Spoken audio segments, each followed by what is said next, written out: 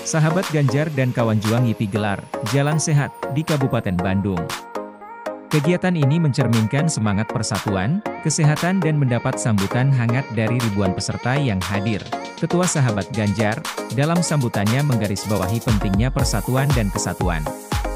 Kegiatan Jalan Sehat ini bukan hanya tentang perjalanan fisik, tetapi tentang perjalanan bersama menuju kehidupan yang lebih sehat dan bahagia.